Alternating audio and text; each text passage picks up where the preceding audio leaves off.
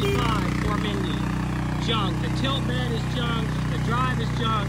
I mean everything. When you tip it over to dump it, it won't come back because there's too much weight. I mean, what's, why?